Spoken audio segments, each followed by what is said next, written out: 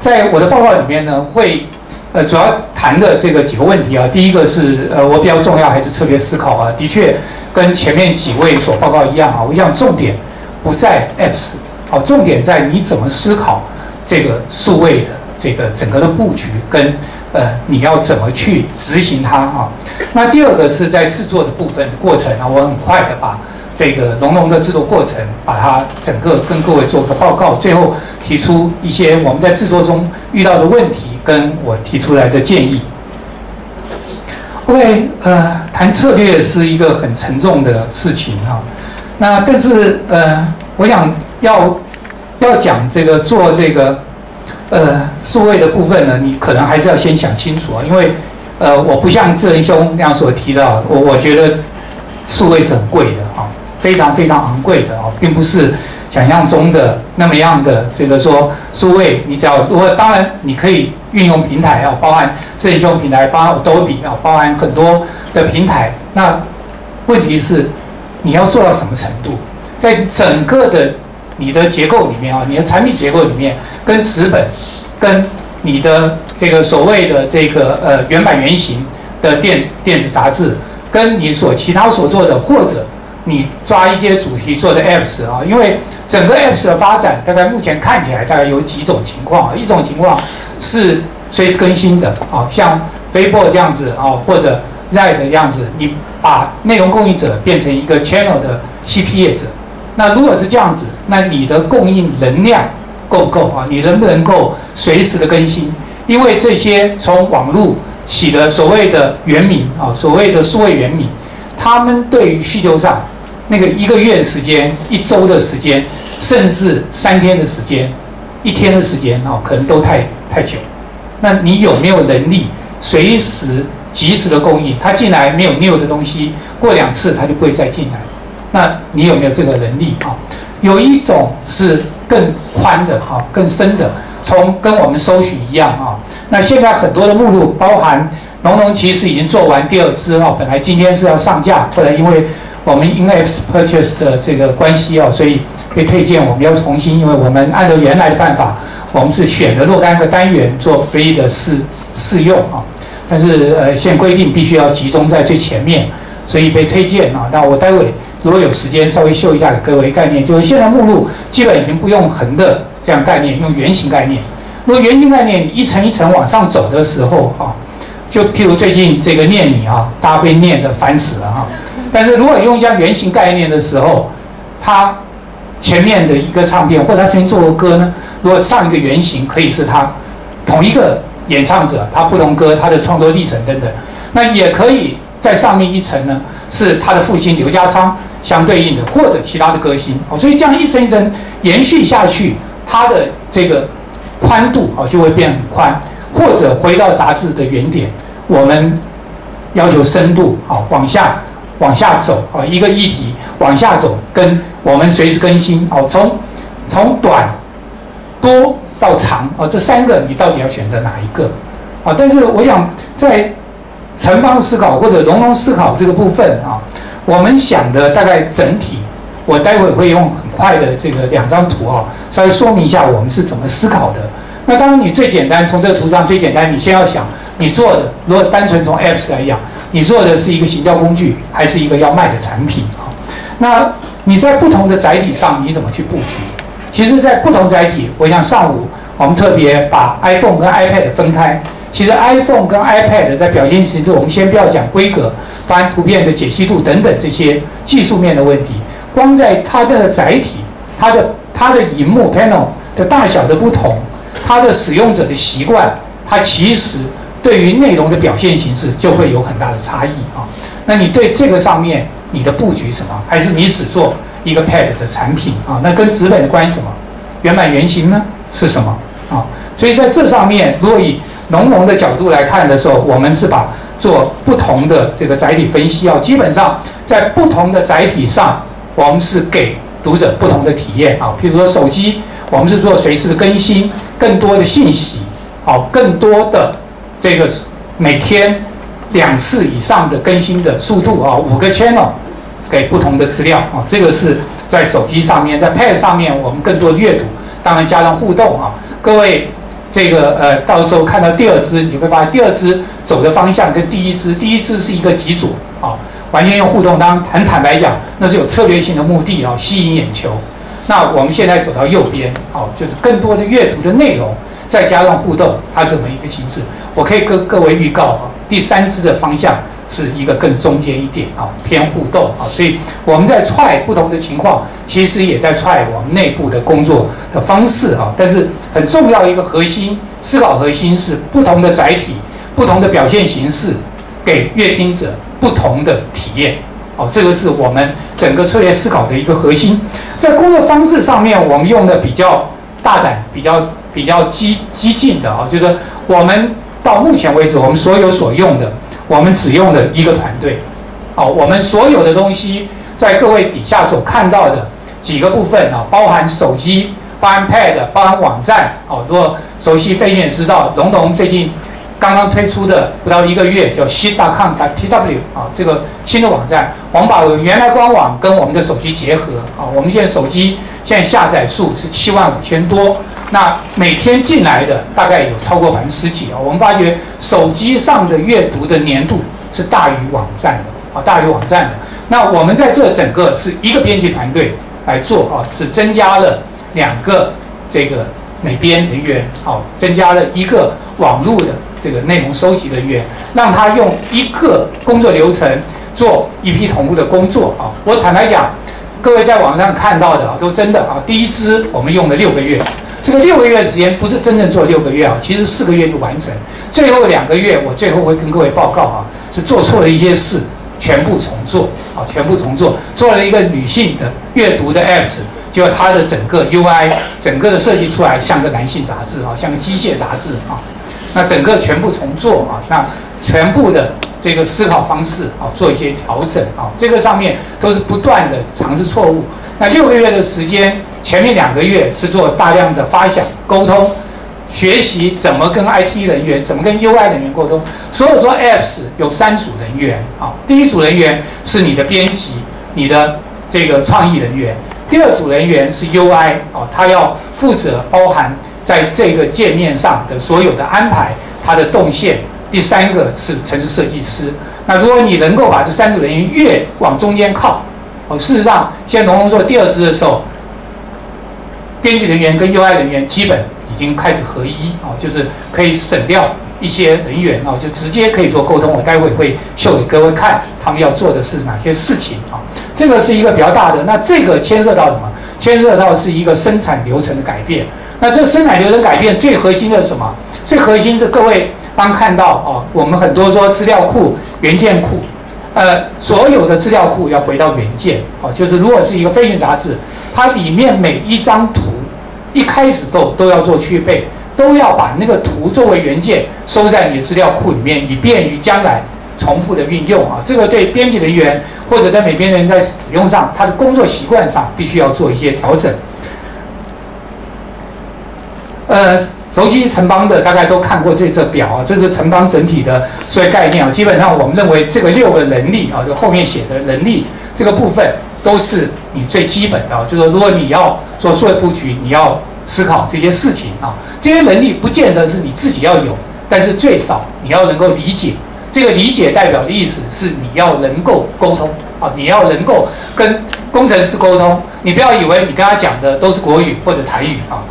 同样，你做成 SA，把一项一项需求写出来，你试试看。你如果没有经过一段时间的沟通，彼此理解的意思，工程师写出来最后的东西，跟编辑所要的东西根本是两回事啊。然后两边就开始互骂，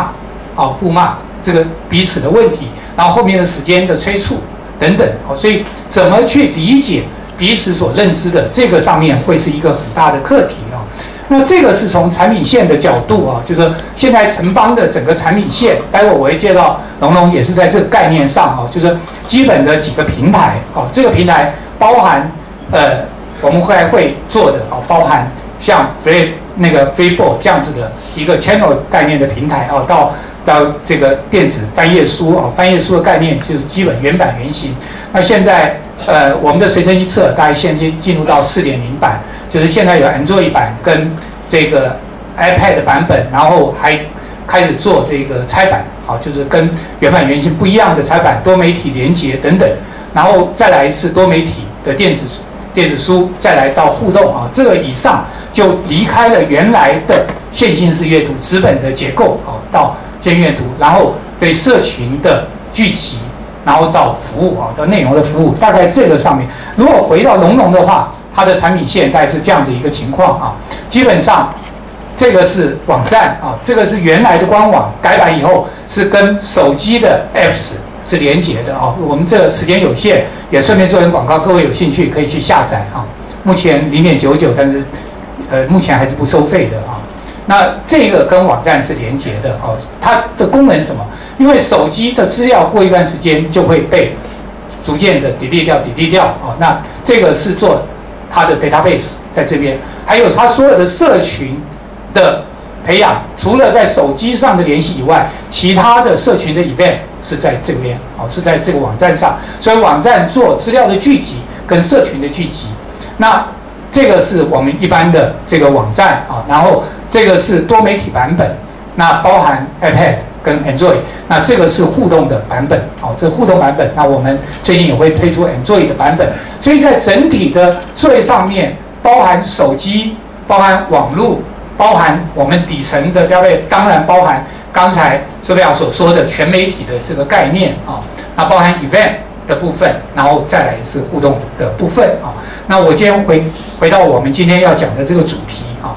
那整个浓浓的 apps 我不做介绍啊。那我们在第二支的 apps 跟第一支的差别，基本上第二支是把更多的阅读这件事情啊，就是摆进来啊，摆进来。但是阅读这件事情在 Pad 上面，我们的 try 的一个结果啊，你的文字内容的确跟刚才英雄讲差不多啊。文字的内容大概跟你纸本原则上是越少越好啊，最好你能做到图带文，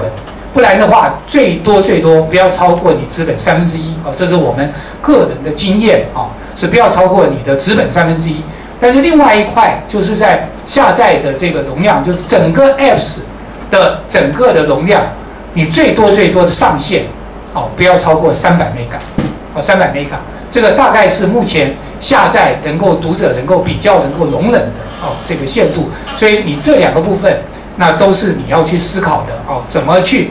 压缩你的这个内容资料，怎么去用外面的这个一些资源啊，譬如说你的图片就没有必要全部摆在你这 app 里面，你有的可以做。连接啊，当然连接有连接的缺点啊，当然也有连接的好处啊。那在整个在第二支的部分呢，会增加的什么？增加的是分享啊，就所以里面内容你都可以剪辑，然后你可以丢上 Facebook，你可以跟作者去互动啊，有 email 的机制，然后有这个你图片的摘选啊，就是你可以摘选出来到我的最爱后面，当然理论上是可以连接一息。的机制啊，然后更多的互动的概念啊，这个是第二支龙龙跟第一支在整体上功能上的一个差别，但它制作上基本都一样啊。呃，最前面当然是这个选题哦，跟我们资本的情况完全一样。这个所有的工作都是同一个团队哦在做，就是原来资本的团队。所以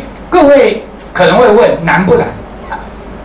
也很难，也不难啊，因为。呃，在座有很多城邦的同仁啊，就很清楚，农农其实在整个城邦的团队里面是数位化水平最低的个团队啊。但是我们在经过的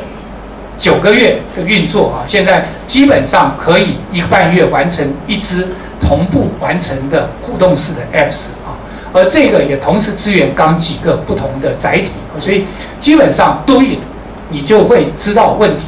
你就会发觉在中间你要去解决问题，但是很核心的还是回到那个流程的改变啊，流程的改变，也就是说你的资料收集要有元件的概念，然后你收进元件库，然后再上来做一些选题的讨论，做你后续的编辑工作啊。那在在选题结束之后，就要进行表现形式的发想啊，这个里面包含你在同一个素材。在不同的载体里面，它可能要用哪些形式去表现啊？那这个上面，事实上在最前期第一次做的时候，会是编辑人员最辛苦的哈。他必须去大量的时间去玩 Pad，啊，他必须去熟悉国外各种或者国内我们同业做的各种的 pad，他要去熟悉啊，他要去玩，因为他不去玩，他就不知道中间有哪些可能性哦。所以经过这个部分，然后你就你的素材，你提出表现形式的发想，啊，那这个我待会再做实际例子。再来就是 E I U I，就是界面的跟整个的结构，他在这地方他也要做，把这样的一个表现形式跟 U I 这边沟通，然后 U I 跟编人员沟通以后，确定它在表现的界面上它大概是什么样的样子啊？譬如说，呃，各位在第一集里面都看到啊，譬如说他娃娃换衣服，娃娃换衣服是概念，那它是。一个什么形式表现？譬如说，他把上衣、把裙子、把鞋子啊分成三个段落，然后他去里面选择啊。那这个上面它是这样子一个概念，然后这个概念它是要用圆形表现，还是用什么方式表现啊？这个是在这个部分，然后他就会绘制一个草图，让编辑人员确认你要的界面样子啊，呈现出来的是不是这个样子，然后再做一个确认啊。这个在这边的创意确认，就是把这两个部分跟这个草图。把它模拟出来，做一个行为模式的确认啊。那同时，编辑人员要进行他这个内容上面的素材的确认啊。他要拍哪些图片，或者他什么地方要做 video，或者他要做三百六十度。三百六十度，你是用 VR 形式呈现，还是你要做 video？然后 video 里面取定格啊，这里面会有不同。如果你是 VR，它是一个左转右转的；如果你是用 video。里面取定格，那它可以按照使用者去决定，它往前走、往后走啊，它在每一个定格之间的差别，这个里面编辑就有更多的编能力，所以他要决定你去怎么处理这个元件，然后这个元件完毕有一个 F N 的工作啊，其实这个部分，呃，早上这个四一兄也有提到，其实这个部分就是一个动线的确认啊，一个使用动线确认，然后到实际制作，在这个时候，编辑人员。跟城市人员就分别各做各的事，因为在这地方他们已经确认彼此的表现形式跟编辑要的东西啊。那在这个地方他们开始制作，然后做完了，彼此做完了，在这个部分就把两个套在一起去整合，整合完套路确认可以 run 以后，然后给第三者哦，就是不参与这个案子的人员去试用啊，试试看他的整个模拟跟他原来想象是不是一样？那。如果没有问题，到最后就打包，这个完成这个部分啊。整个这个作业在这个之前，在这个之前是跟纸本的内容完全作业啊。其第二支主要用的是六月号浓浓的素材哦，所以这个部分其实在六月五号就已经全部完成哦，是跟纸本完成。那我们后面因为是第二支，我们还有非常多的调整跟非常多要沟通或者跟。这个我们内部所做的一些事情哦，所以大致上大概这个流程哦。那我们实际用这些东西给各位看一下，这个是在纸本呈现的一个单元啊，这个是秋冬时装的一个一个报道啊，这个是一个页面。那在这个是纸本页面，那在 Pad 上面啊，待会如果我们有时间可以修，如果没时间，各位呃在下礼拜上架的时候，各位可以下载下来，你们可以看到它是用一个伸展台。的走秀的方式哦，然后来秀出来，然后这边有不同年代，所以它上面在走秀的那个部分上面有不同年代，所以你可以点不同年代，它可以直接拉出来哦。所以它在同时要做这个页面的时候，已经把在两个不同载体哦，当然我们还有第三个在手机上表现，已经都想好，想好以后同步三个人员各做各的事哦。这个上面是这样子的一个。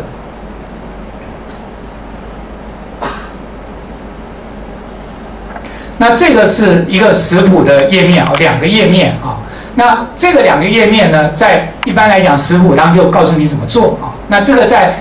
第二支 Pad 里面，它所做的一个，除了内容上面这个两页，在第二支里面啊，第二支不是用一个梯形的概念啊，它是用一个斜线概念，所以它可以往左往下啊，在不同进入进入不同的页面啊，按照你。读者的选择啊，它可以进入不同页面，在在这个 Pad 里面，这个两个页面是切成五个页面啊，然后它增加互动。那它的互动用的就不是做那个菜，而是在这个页面的互动，告诉你这里面所有的素材，让你去选择素材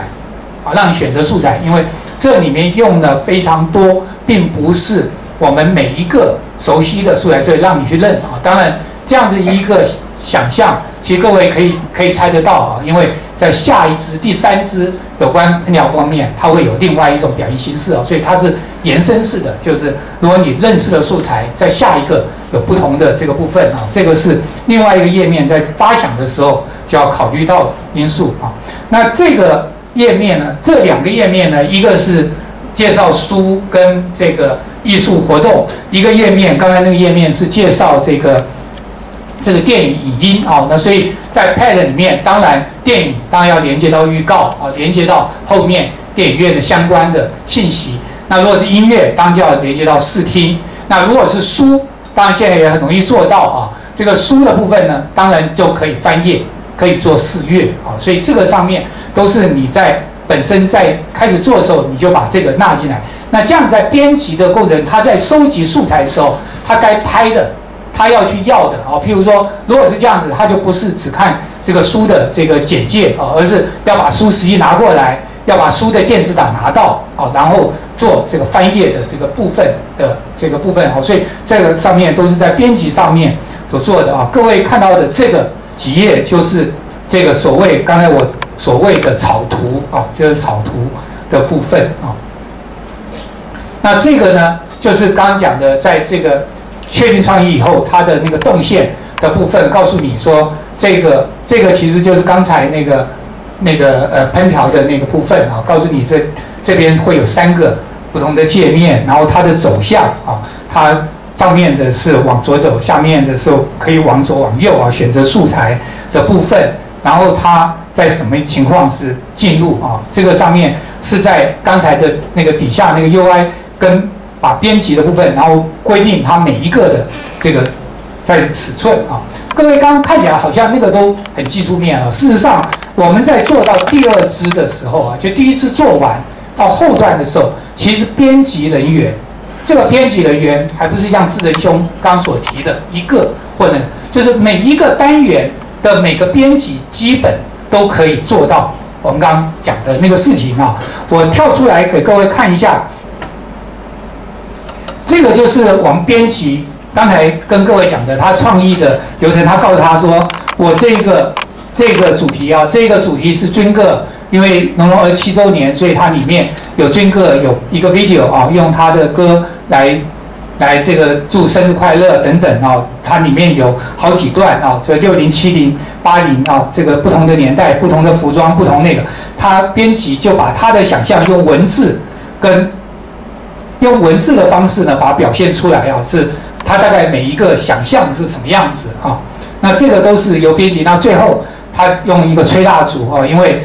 Pad 有这个声音的功能啊，所以你对着那个音一吹，蜡烛就整个灭掉，所以这个上面这个就是编辑写的啊，把他的创意把它变成文字啊，所以。各位会觉得说难不难？好，你你也可以说它很难。但是刚才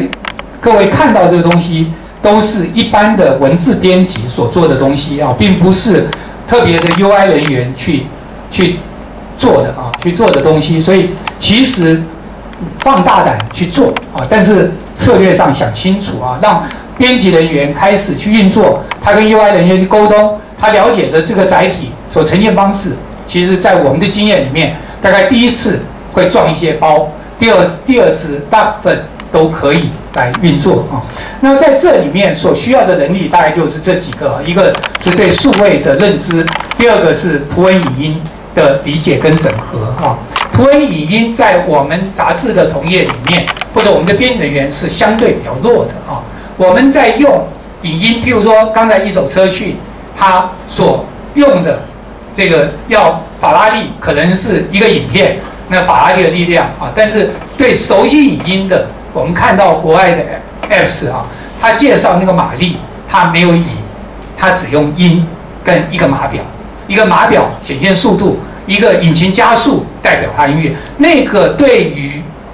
读者对乐听者所受到冲击是更大的啊，所以在这里面如何去使用影音，是我们的编辑。更要去学习的啊，就是说它不是只有影能够呈现那个 power，那怎么用图加上文，那或者只加上影哦，没有影的部分，它一样可以呈现 power，这个是重要的。再来是 IT 的沟通能力哦，对 IT 的理解跟沟通能力，透过刚才那样子画草图的形式，或者用文字描述的形式，能把你想象在那个 panel 上面可以呈现的样子，你能够把它说出来哦。这个部分是一个编辑人员进入到数位，他必须要去练习做的事情哦。那我必须一再重复，就是有难度，但是坦白讲也没那么难。那这做下去的确像苏维亚所讲的啊，就是他们耗费很多时间，因为我们的原则，所有城邦的同仁都知道啊，城邦的原则叫牛肉面啊，加汤加料就是不加钱，所有的薪水是不变的啊。但是基本上在这中间，大家一起学习的过程中，一起对新的一些体验哦，自己能力的提升，其实在这中间是很重要的。在我们做这两支里面啊，当然有非常多的失败啊。在影音的处理上，其实各位看到的第一支那个封面啊，其实是一个失败的封面啊。那个封面原来我们是要做一个 video，然后定格到封面啊。但是很不幸的是，拍的过程中因为某种因素啊，所以高画质的部分我们偷了点机啊，所以后来做定格的时候发觉，那个只要做若干的定格处理，那个画质都很差哦。所以在影音的处理上。是必须把那些规格一开始要把它确认清楚啊，要跟陈设计师跟你外包团队要理解你中间的各种的形式规格啊，这个上面是我们在第一次做的时候非常一个惨痛经验啊，拍了非常多的 video，然后后来发觉只要你 video 只能当 video 放啊，你要做 video 抽出来做处理的时候，你原来有些没想到啊，这个上面做失败。那版面处理我刚刚已经讲过了啊，在。我们在做的过程中，其实在整个的设计啊，就是呃一样在 Pad 上面啊，Pad 上面你有很多种可以去尝试的啊。待会我想我应该还有一点点时间可以秀给各位看啊，就是说那个在 Pad 的版面上，我们在纸本上大家都很清楚，我们每本杂志都有我们在美术设计上的痛调啊，我们的调性，整本上从第一页往下翻，它基本是有一个调性。啊，在每边设计上，它整本是有一个调性的。在 Pad 上面的 apps，你要考虑到啊，你的整体是一个产品，所以它要有调性。那 Pad 本身的 apps 里面，它有时候不是页面的概念啊。你像 Gap 的话，它向左无限大，向右无限右，向上向下都可以无限的时候，那你怎么去处理那个页面啊？这个上面是你在版面设计或者你在做。这个单元的时候，你的美编人员跟文编人员跟编辑人员要共同坐下来，要去探讨，然后把你整个的这个调性要把它定调啊，定调以后，你在做 UI 或者你在做沟通时候，它才不容易出现把你单元把它整包整在一起的一个 App 时候，你发觉这不是一个读起来会顿顿的啊，就是虽然你的程式很顺。但是你读起来好像每个单元到另外一个单元就不是在同一本杂志上面那个感觉哈，这个上面是你要去理解的。时程的掌控是另外一个问题啊，就的确，呃，在这个时候作业上就跟电视的节目制作一样啊，就会有刚才志仁兄所秀的那一个那个时程表啊，那个时程表是非常非常底层跟重要的。因为在那个时秒里面确定你每个单元会不会有 video，你会不会有这个不同的素材？那在素材摆进去的时候，它都有工作时间哦，所以你必须要按照那样子一个时程表去工作啊。那大家都是用那样子的时程表去沟通，你才能做到一批同步啊。当然最后是行销推广的问题啊，因为第一场做的讲了很多，我在这边就省略掉了啊。那。整个做下来，以龙龙这样子一个布局跟作战经验，当然我很坦白的告诉各位啊，我们测试出来的，呃，我想这个数字我可以跟各位这个负责啊，因为龙龙从四月二十九号上架到目前，大概在 iPad 的这个 lifestyle 这个一直保持在前两三米啊，这个部分有时候甚至还会跳到第一米。大概以下载量，如果你是一个 free，这个池子有多大？这个池子大约。最大的量，大概就在三万多到四万，啊，以这样子一个大量，如果你做 free 啊，如果你做有费，你会更少，啊，你会更少，少到多少？少到也许一层，啊，也许一层到两层之间，大概大的池子是比较明确，小的池子就看你的行销能力、你的内容跟你读者对于那个价格的买单能力，啊，所以事实上在台湾目前以 Pad 来讲，它总体的容量。到还不到那么大的一个规模，不过它的整个购买者或者它的下载者这些数值或者那个量那个值啊，就量大概就是我刚刚讲的，你最大大概就是三万多四万，差一点，那更很差的我们不必提，大概你一般可能都在一万以下啊，大概在如果你没办法一直维持在前面的十名以内来走的话，大概你的量大概就是我刚讲的。在 free 的量大概就在这。如果是手机，当然那个量会往上跳啊。不过从最新的数据看起来，因为 apps 不断的增加啊，以手机排名第一名的，在过去在台湾大概一天，大概第一天上架，大概如果你能排第一，大概有三万左右啊。最近的量大概都跌到一万五以下，因为量在增加哦，所以行销的难度是增加。那么你先要还是要想清楚啊，就是呃。到底有什么不同？如果你做的这支 apps 跟手机、跟纸本的内容是一样的，如果你没有新的体验，那读者为什么要经过 Pad 来看？哦，那他为什么要经过 Pad 来看？那对你、对你的广告主或者对你的所有的客户，好，它的意义在什么地方？所以 What's different 这个部分还是要你摆在最前面去思考啊。那核心的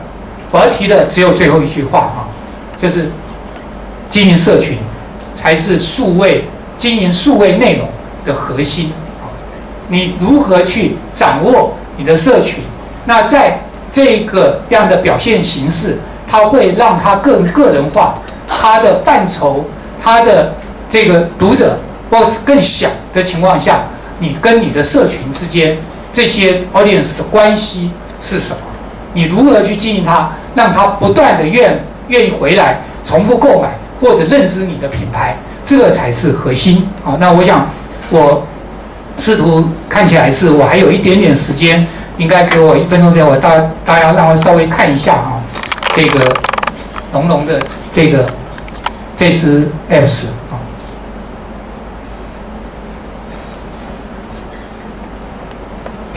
它的最大的不同会是在这个地方啊，因为刚好挡到各位啊，各位这边底下在在右下方这边啊有一个圆弧哈，在这个圆弧里面，它可以呈现就是在，比如说这个是它的选所有的图片啊，所有图片，我就不让它倒过来啊，所有的图片，把所有的图片啊都可以呃放大。放大以后，缩小以后，你都可以拉到这个页面啊。那各位可以看到，这边还有一个翻页，代表这个是有很多层啊，可以有非常多页。每一个图片你都可以拉出来变成我的最爱。那最后面连什么？大家都可以想象啊，后面连的就是一息啊。那在这个这个部分，各位可以看到的是 Facebook 跟这个 email 啊，这个可以做连接啊。在目录部分呢，用双层的概念啊，所以一层一层，它可以再进入到它的这个核心。所以一层这个概念其实是什么？是如果它是多层的时候，你要往下做，如果你的内容可以支撑，它就可以不断的长，不断的深啊。我刚刚用那个念你做例子的时候，各位就可以想象啊，如果这一这一排是一个歌星的话，那这可能是其他歌星，同一首歌其他歌也可以。转换成留他父亲啊，或者他的家人，或者等等，这可以不断的层次啊，它可以不断的去往下去深化啊。这个大概是在我们的表现形式。那基本上大概所有的呃，你原来在第一第一支看到的这个表现形式，在第二支全部都用了啊。那更多一点的是在，那这个就是我跟各位所提的，就是我们把。第一次用的概念是图跟文走啊，那我们这个试验另外一个概念就是，各位可以注意到，其实左右它是同一页哈，但是版面是不同的啊。各位如果注意看那个番茄乳乳酪球，我这个是往右啊，一样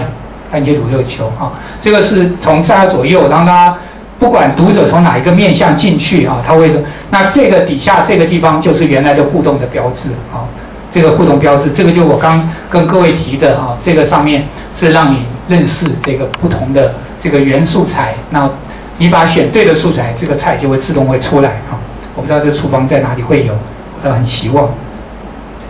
OK，好，我这个因为后面我希望留多一点时间给后面讲者，我的报告就到这边，谢谢大家。